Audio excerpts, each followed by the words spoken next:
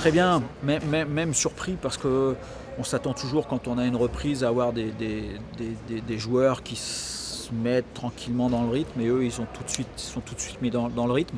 Et je pense que déjà ça veut dire que mentalement ils, ils sont prêts à, à, passer un palier parce qu'ils savent que maintenant le, le prochain niveau c'est plus la NASL mais c'est la MLS. Donc on parle de 2-3 coches euh, au-dessus et, ils savent que s'ils ne montrent pas beaucoup de détermination, euh, d'envie et d'effort, ils auront du mal à, à rejoindre euh, ce niveau-là. Donc on est agréablement surpris de l'intensité des, des entraînements. Et puis le fait également d'avoir euh, réduit euh, le groupe en nombre, ça fait un groupe beaucoup plus homogène au niveau de la qualité et donc beaucoup plus de concurrence, ce qui, ce qui donne des, pratiques encore plus intenses. Donc il y a Maxime Crépeau qui est, le gardien qui a fait la Coupe du Monde avec l'équipe moins de 17 euh, du Canada au Mexique en mois de juillet dernier, qui s'est euh, souvent entraîné déjà avec les pros l'année passée, qui est un jeune gardien qui a encore 17 ans. Euh, qui a beaucoup beaucoup de qualités, que ce soit physique et mentale, et qui a une attitude déjà de joueur professionnel. Donc on porte beaucoup d'espoir sur ce jeune joueur. Carl Wimed qui lui a passé également les cinq derniers mois de la, la saison 2011 avec, euh, avec les pros en NASL, qui est un défenseur central, qui a, qui a 19 ans. Euh, qui est très très dur sur l'homme, qui est, euh, qui est quelqu'un qui euh, mentalement également est, prêt à passer le, palier, qui doit encore progresser sur, sur certaines facettes de son jeu, notamment technique. Voilà pour les deux. Et puis on a, on a aussi Mircha qui, qui, qui, est avec les, les, pros lui également depuis, depuis six mois. et qui va partir au Mexique avec Max Crépeau, qui est lui un attaquant avec de grosses grosses qualités techniques et un sens du but au-dessus de la moyenne je dirais que la grosse différence, c'est vraiment l'implication, parce que là, véritablement, euh, ils sentent que, le, club dans son ensemble est passé d'un niveau, on ne parle plus euh, du niveau où on était l'année passée, on a, passé plusieurs niveaux en, quelques mois. Là, ils le ressentent, nous on est beaucoup plus exigeants aussi avec eux, ce qui fait qu'on a des, des, jeunes qui sont euh, très concernés, déterminés. Et à partir de là, euh, tout, est mieux parce que le message passe plus facilement.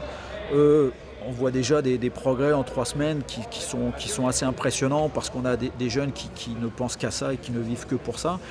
Et, le fait d'avoir euh, ce, ce, buzz MLS booste un peu tous ces jeunes-là. Donc il y a vraiment une, à la même époque l'année dernière, on ne parle plus du tout du même niveau. Là. Déjà, on est déjà 2-3 coches au-dessus. Et je dirais que ce qui est bien, c'est que les, jeunes joueurs ont augmenté le, amélioré leur niveau autant que le club a pu le faire dans les 3-4 derniers mois. Donc c'est très très encourageant. Uh, players are starting their, their, their, their camp, training camp in, uh, in mid-August till the end of June. And the U21 team uh, starting starting to practice uh, two three weeks ago now until the end of uh, October fais-moi ça, l'objet de partir là, etc.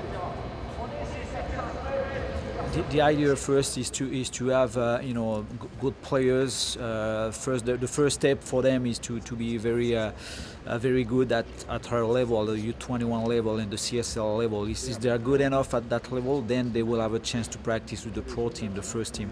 And then if they're good enough during the practice with the first team, hopefully they're going to play with the first team at the MLS level.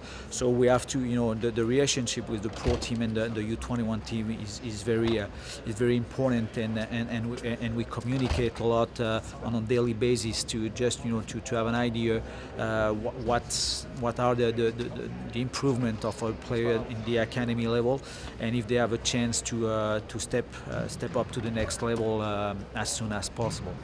Well, it's they can touch their dream. You know, the pro are there, the the the the, the, the superstar are there. Uh, there's a lot of uh, games on TV, so you know they, they, they can you know have a better culture, soccer culture, uh, thanks to the to, to, the MLS team, and, and, and, and we have a very good uh, staff, the JC March uh, staff and our academy staff. Uh, we are on the same page, as well as Joey Saputo and Nick DeSantis. So you know, it, it was the it was the the, the link that that was missing. Uh, you know, the, the the the last years it was because our team was just at the NASL level. And right now, you know, the young players knows that the first team is playing at the MLS level, is playing against Beckham and Thierry Henry, and it's you know much more motivating for, for, for those players. And, and again you know they can touch their dream